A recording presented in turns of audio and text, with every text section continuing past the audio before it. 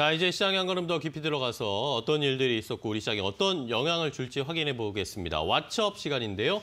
자, 오늘도 현대경제연구원 최영호 고문과 함께 하겠습니다. 고문님, 안녕하세요. 네, 반갑습니다. 반갑습니다. 네. 자, 오늘 시장을 또 차- 준비를 해야 될 텐데 네. 이번 주에 또 여러 가지 이슈들이 있습니다. 지난주에 미국 시장이 약간 흔들리기 시작했고 그렇죠. 분위기가 심상치 않은 상황인데 자, 이번 주에는 또 중국에서 네. 이 4분기 지난해 4분기 GDP 이 경제 네. 성장률치가 발표가 되죠. 어, 글로벌 이슈 중에서 가장 중요한 어, 네. 이슈가 될 것 같고요. 오늘 발표합니다. 그러니까 이제 몇 시간 후에 발표하는데, 자 미, 어, 미국과 중국이 지금 어, 팬데믹 이후에 경제를 끌고 있는데 과연 중국이 얼마만큼 버텨줄 것인가? 어, 사실 이제 발표가 된 거 보면 중국이 지금 어, 수출 같은 경우는 30% 이상의 지금 호조세를 어, 지금 뭐 어, 구가하고 있습니다만은 어, 최근에 알려진 지 하- 어, 헝다라든가 이런 어, 내부적인 그런 어, 뭐 이- 이유 때문에 지금 이제 분기별 어, 경제 성장률이 어떻게 될까가 이제 지금 궁금해지는 상황인데요. 저번 분기에 4.9% 나왔어요. 그래서 이거 그렇습니다. 어, 굉장히 지금 뭐 어, 진짜 쇼크가 됐었거든요. 5% 미만으로 내려온 부분. 근데 지금 어, 4분기 중국 경제 성장률 전망치가 3.6으로 지금 나오고 있습니다. 좋았나요? 어, 그 뭐, 어, 지금 뭐, 한한 달 전인가요? 네. 중앙경제 어, 공작회의에서도 나왔는데 수요가 위축이 되고 음. 공급이 지금 충격이 있고 어, 그다음에 성장 전망이 악화되는 등 세 가지의 지금 어, 삼중고를 인정을 해버렸어요. 어. 어, 그렇다면 어, 앞으로 어떻게 나갈 것인가에 대해서 어, 굉장히 어, 심도 높은 얘기들을 했을 것 같고요. 어, 그러는 과정에서 지금 이제 어, 뭐 작년에는 8%대 어, 사실 이제 발표는 그렇게 했었죠. 6% 이상 한다고 그랬는데 어, 8%대가 되고요. 어, 그다음에 올해는 이제 5.3으로 경제 성장 전망을 지금 내놓고 있습니다. 네. 자, 근데 여기서 잘 보셔야 될 게 뭐냐면 네. 작, 그러니까 작년도 1분기가 18.3%예요. 음. 그렇다면은 아, 지금 이제 1분기에 다 지금 하고 있는 1분기가 기저 효과로 굉장히 내려올 수가 있거든요. 음. 그러면은 4분기를 3.6으로 방어를 해놓고서 다음 분기까지 예, 이 성적이 안 좋다면은 시진핑이 3연임 하려 그러는 지금 큰 지금 어 뭐 플랜을 짜고 있는데 사실 두 번 카운터 펀치 맞으면 굉장히 지금 그러게요. 타격이 크거든요. 음. 그래서 3.6보다는 조금 높게 나오지 않겠냐는 생각이 있습니다만은 어. 아니면 진짜로 Big Bath 이론으로 해서 완전히 떨어뜨려 놓고 다시 1분기에 올린다? 올릴 것인지 음. 그러한 뭐좀 기술적인 부분들을 지금 생각하고 있는 거 아니냐 어, 이렇게 보여지고요. 음. 어쨌거나 지금 뭐 샤오강 사회 에, 실현이 지금 뭐 시진핑의 가장 1번의 지금 목표인데 거기를 어, 계속 유지하기 위해서는 최소 6%는 해야 되거든요. 근데 요번에 에, 국무원 그러니까 뭐 어, 일단 그 정부 기관에서 네네. 나온 게 5.3%가 나왔어요. 어.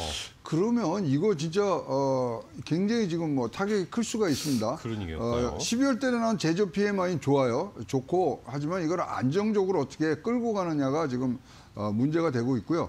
어, 지금 최근 생산 생산자 물가지 지금 15 12%대 고공행진 중이거든요. 이런 뭐 어, 3개월 내에 이것이 소비자 물가로 지금 전가되는 부분들이 분명히 생길 겁니다. 음. 자, 중국이 경제적으로 많이 바뀌었어요. 지금 어떻게 되냐면 소비가 전체 경제의 65%를 차지합니다. 어, 네. 수출이 19%밖에 안 돼요. 어. 그건 많이 줄었어요.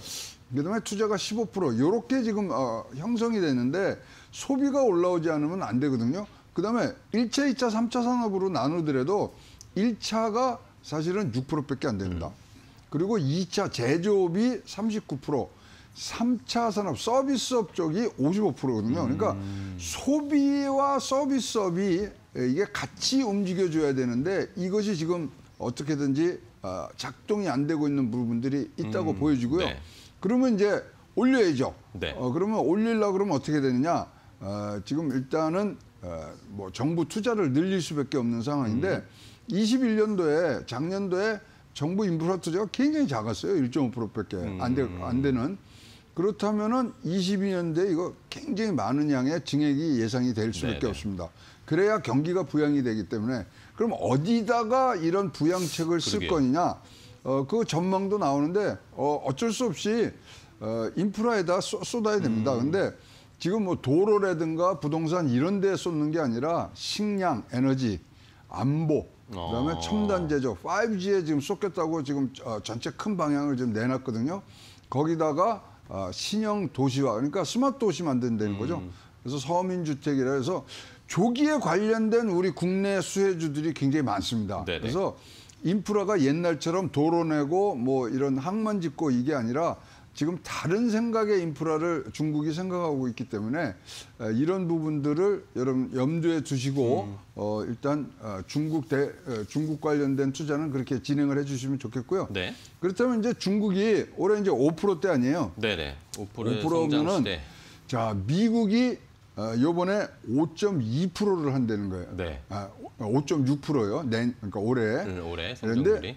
중국이 5.2, 5.3에서 격차가 많아봐야 0.4%거든요. 그러게요. 그러면 지금 중국이 어, 미중 무역 전쟁, 미중 패권 전쟁에서 믿고 있는 것은 경제력 하나인데 음. 군사력 이런 거 다 지거든요. 패권 전쟁의 경쟁에 이제 분수령이 한 번은 어, 금년 음. 중에 오지 않겠느냐. 어, 그리고 미국에 그러다 보니까 미국이 집중 견제를 하는데 네. 에, 쌍순환 수출과 소비가 같이 돌아가는 부분들이 지금 쉽지 않네요. 음. 어, 뭐 쉽지 않게 돌아갈 수밖에 없고요. 그러다 보니까 어 중국이 매력적이지가 않아요. 그쵸. 그래서 도시바 되면. 같은 데는 어, 33개 공장 지금 철수한다고 해버렸어요. 어. 그리고 대만의 HTC 에, 스마트폰도 중국 다 철수하면서 의존도 지금 감소하는. 근데 저게 굉장히 지금 어, 상징적인 모습으로 지금 어, 음. 보이거든요. 그러면 중국이 지금 어, 전 세계에서 나온 저 전망은 2035년도에 세계 1위 간다 네. 그랬는데 중국이 아니야. 우리 2030년에 한다 그랬는데요. 그런 부분들이 지금 어, 서로 엇갈리면서 가고 있습니다. 네. 그래서 근데 저는 어떻게 보냐면 5%가 왜냐하면 실업률에 문제가 있습니다. 음. 지금 중국 실업률 4.9%고요. 청년 실업률 16%까지 가거든요. 이거가 조금만 더 어, 악화되면은 굉장히 음. 어, 시진핑의 어, 집권 어 떤 어, 장악력이 굉장히 어, 약해지고요. 잘 아시겠지만 1년에 대졸만 천만 명이 나오고 있거든요. 네. 실업은 그러니까 중국에서는 모든 경제 성장의 가장 큰 지표는 실업률이건데 이거에 에, 어, 관리가 실패한다 그러면 사실 시진핑이도 굉장히 어떤 조치라도 지금 내놔야 되는 그런 네. 상황이라고 보여집니다. 네, 알겠습니다. 자, 이번 주에 미- 중국에서 지난해 4분기 GDP 경제 성장률이 나오는데 과연 어떻게 나올지 이것에 대한 해석을 한번 최영 고문과 이야기를 나눠봤습니다.